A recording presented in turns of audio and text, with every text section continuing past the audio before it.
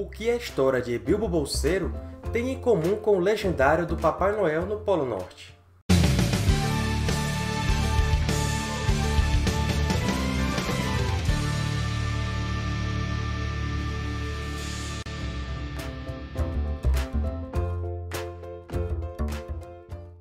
Olá, Tolkien Talkers! Tudo bem com vocês? Antes de falarmos sobre o Hobbit e as cartas do Papai Noel, já deixa o seu like aqui embaixo, deixa o seu gostei.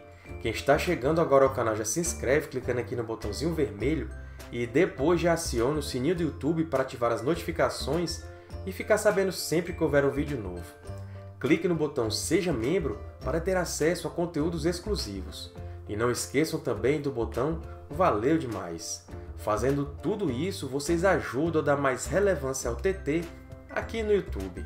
Tolkien produziu as cartas do Papai Noel entre 1920 e 1943. O Hobbit foi lançado em 1937. Como sabemos, Tolkien costumava fazer interpolação de elementos em suas obras. E isso não foi diferente quando falamos das Cartas do Polo Norte e da Aventura de Bilbo. Para esse vídeo de Natal, então, vamos tentar fazer a ponte entre as duas obras tolkienianas. Tanto as Cartas do Papai Noel quanto o Hobbit contêm elementos de história que têm raízes comuns nos primeiros contos perdidos e poemas de Tolkien. Alguns elementos da história das Cartas do Papai Noel parecem ter sido emprestados de O Hobbit. Alguns elementos da história de O Hobbit apareceram primeiro nas Cartas do Papai Noel, sugerindo que o empréstimo pode ter ocorrido nos dois sentidos. A criação de O Hobbit estava intrinsecamente ligada às cartas do Papai Noel. Em The History of the Hobbit, John Radcliffe argumenta que Tolkien escreveu grandes partes de O Hobbit durante as suas férias de Natal em Oxford, no início da década de 1930. Durante essas mesmas semanas, ele estava criando suas cartas e ilustrações anuais de Natal para seus filhos.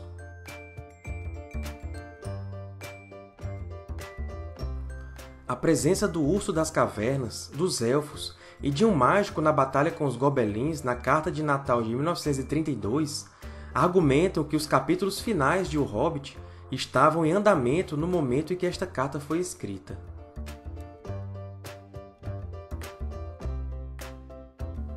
Um primeiro rascunho de O Hobbit contém duas menções ao Natal. Primeiro, a introdução original de Elrond por Tolkien o descreveu como sendo tão gentil quanto o Natal, embora isso tenha sido alterado na versão publicada para tão gentil quanto o verão.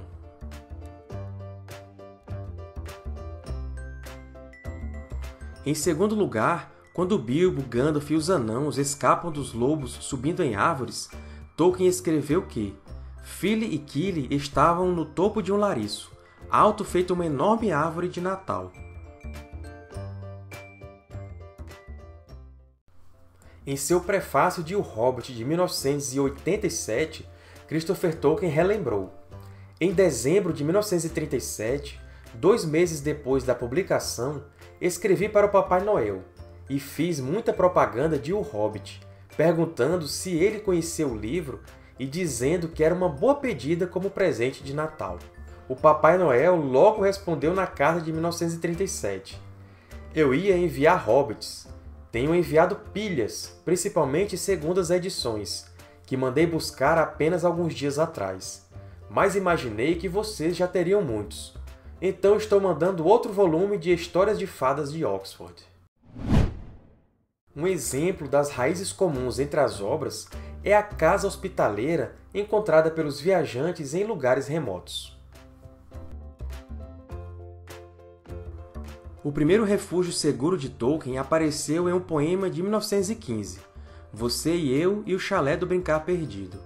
Por volta do inverno de 1916 a 17, Tolkien escreveu sobre Eriol, o marinheiro, o viajante mortal que descobre o Chalé do Brincar Perdido na Ilha Solitária, Tolerécia, após uma longa viagem marítima. Lá ele encontra uma recepção calorosa e muita comida, risadas e contação de histórias.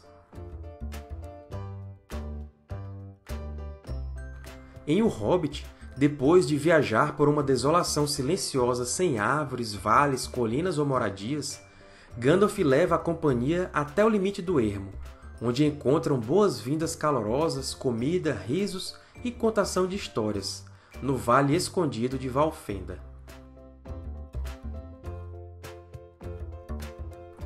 A casa do Papai Noel também está localizada em um lugar remoto, o Polo Norte.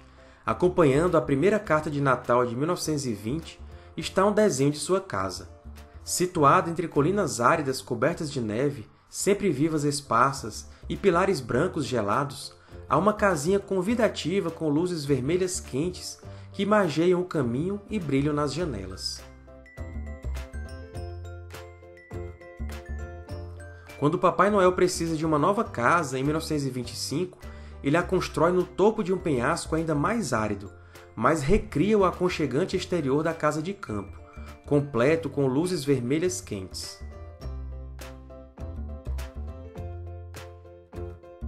E embora as representações populares atuais do Polo Norte se concentrem em atividades na oficina de brinquedos, as cartas de Natal de Tolkien estão repletas de relatos de receber convidados, festejando, contando histórias, dançando, jogando e dormindo, todos lembrando Valfenda e o chalé do Brincar Perdido.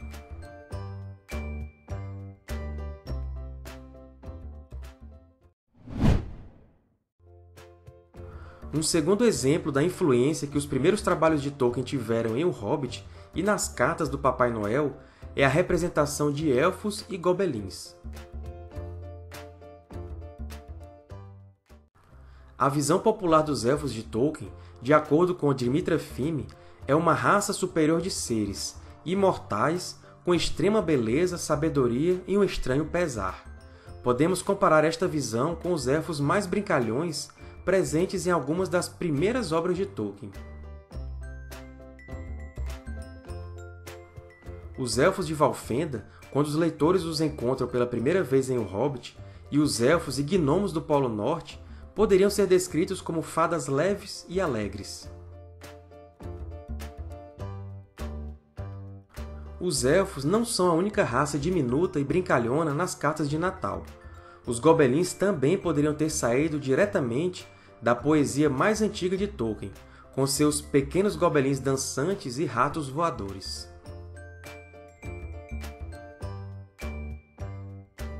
Mas claro que ambos os tipos de elfos de Tolkien estão presentes em O Hobbit, tanto os brincalhões do início de sua mitologia, quanto os mais elevados e nobres, como Elrond.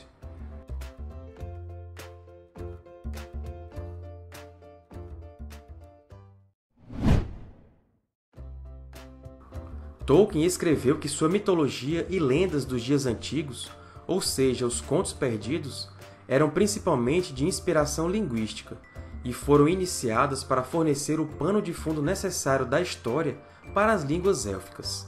Tolkien também trabalhou nas suas línguas e escritas inventadas em O Hobbit e nas cartas de Natal. No Hobbit temos o mapa de Tror com as suas runas. Nas cartas do Papai Noel, o urso polar do norte escreve para as crianças em sua língua nativa, que utiliza uma escrita rúnica.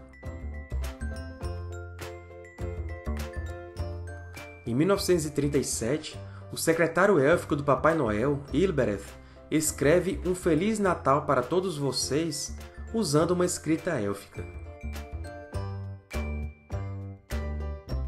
De casas hospitaleiras a elfos brincalhões e línguas e escritas inventadas, Tolkien adaptou vários elementos claramente originados em seus próprios contos perdidos e poemas para os mundos de O Hobbit e das Cartas do Papai Noel. Mas há mais relações, e algumas sugerem empréstimos diretos entre os dois mundos.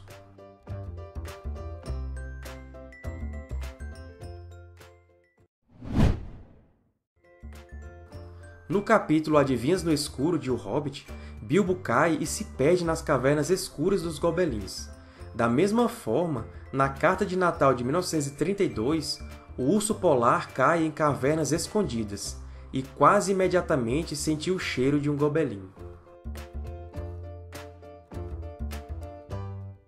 Nos capítulos culminantes de O Hobbit, os anãos, homens e elfos são cercados na Montanha Solitária por hordas de gobelins montados em lobos e um enxame de morcegos semelhantes a vampiros, densos como um mar de gafanhotos. Redleaf compara esta cena a uma descrição do pior ataque de gobelins no Polo Norte em séculos, conforme relatado na Carta de Natal de 1933. O urso polar estima que havia mil gobelins, alguns dos quais montavam morcegos. Assim como Gandalf chega a utilizar alguma mágica antes do final, na Carta de Natal de 1932, o Papai Noel combateu os gobelins com relâmpagos, fogos de artifício e trovões de armas. Beorn, em forma de um enorme urso, chega arrasando os gobelins e lobos. No Polo Norte, o urso polar, na carta de 1933, é um lutador tão feroz quanto.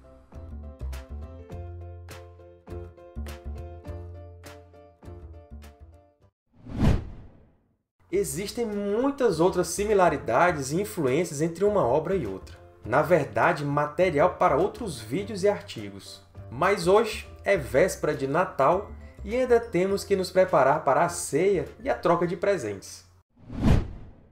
Então é isso, pessoal! A mitologia de Tolkien sempre influenciou suas outras obras e vice-versa. Não foi diferente entre o Hobbit e as cartas do Papai Noel. Eu espero que vocês tenham gostado desse vídeo, então quem esqueceu de curtir, deixa o gostei aqui embaixo, quem esqueceu de se inscrever, se inscreve, toca no sininho do Papai Noel do YouTube e ative as notificações para não perder nada. Curta nosso page no Facebook, siga o nosso Twitter, o Instagram e também visite o nosso site www.tokentalk.com.br. Sejam membros do TT escolhendo escudos de ferro, gálvano ou ouro para ter acesso a conteúdos exclusivos. E não esqueçam também do botão Valeu Demais! Conheçam também o meu outro canal, O Guardião Católico, onde eu falo sobre Tolkien e a Igreja Católica. Se inscrevam lá para não perder nada. Ajude o TT a crescer divulgando os nossos vídeos e mostrando para os amigos. É sempre um prazer falar de Tolkien com vocês. Então, até o próximo vídeo e um feliz e abençoado Natal!